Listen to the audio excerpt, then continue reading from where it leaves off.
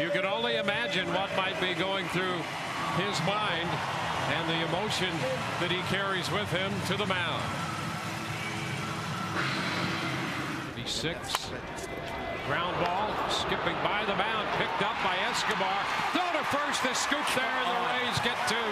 How about that? Well apparently Romero's got a great double play pitch as well. Ground ball second base. Off the bat of Michael Morse. Zobrist throws him out.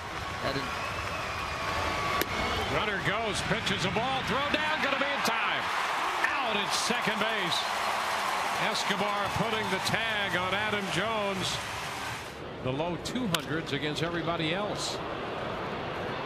Myers back to the track. That's got some carry, and he makes the catch.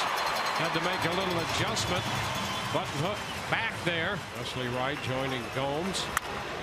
Fly ball, right center field. Myers on the run, reaches up, and he's got it.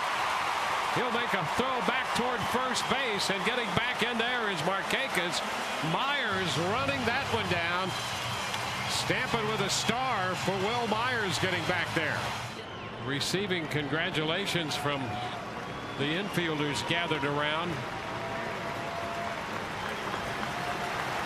Well, a great start to what the Rays anticipate will get a great career for this young left-hander, Enny Romero. He steps in and does a fine job today against Baltimore.